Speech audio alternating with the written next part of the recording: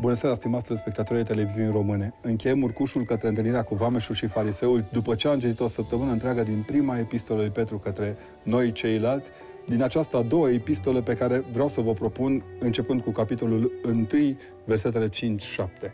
Pentru aceasta, puneți și din partea voastră toată sârguința și adăugați la credința voastră fapta bună, iar la fapta bună cunoștința, la cunoștință înfrânare, la înfrânare răbdare, la răbdare evlavia, la evlavie iubirea frățească, iar la iubirea frățească dragostea.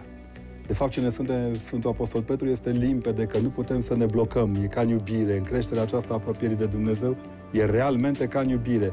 Nu poți să te oprești. În momentul când te oprești, începi să aluneci, începi să cazi.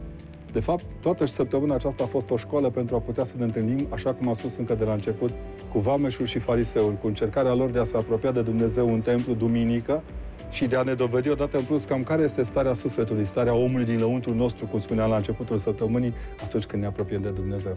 Asta recitesc cuvintele cheie ale acestui verset. Cunoștința, înfrânarea, răbdarea, evlavia, iubirea frățească și dragostea. Una, două, trei, patru, cinci, șase cuvinte de aur care, într-un fel sau altul, ar trebui să ne ajute să înțelegem că a fi aproape de Hristos înseamnă a crește tot timpul. Sau, cum ne povestește Sfântul Ioan Scărarul, când ne aflăm pe ultima treaptă a urcușului, suntem ca pe prima, iar pe prima ca pe ultima, pentru că nu putem să schimbăm și să sărim peste niciuna din treptele acestea duhovnicești ale vieții cu Hristos. De ce devine important pentru noi, oameni moderni, să trăim și să reasumăm aceste cuvinte? Este simplu și este la îndemâna noastră, de fapt. Când vorbim despre cunoștință, atât de des folosită cunoștință, înseamnă de fapt a ne cunoaște pe noi în înfrânare. Când ne înfrânăm, de fapt, învățăm răbdarea. Când dobânim răbdare, de fapt, cunoaștem ce înseamnă evlavie. Iar când ne desăvârșim în evlavie, creștem în iubirea frățească care ne duce către dragoste. În această construcție în care fiecare pilon contează, devine foarte important să punem și din partea noastră câte ceva la întâlnirea cu Dumnezeu.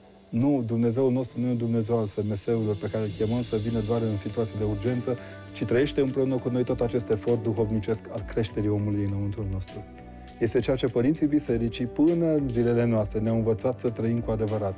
Această cultură a Duhului, din care dacă nu reușim să ne hrănim, de fapt nu mai avem nici cultură și nici Duh și suntem aproape pieriți.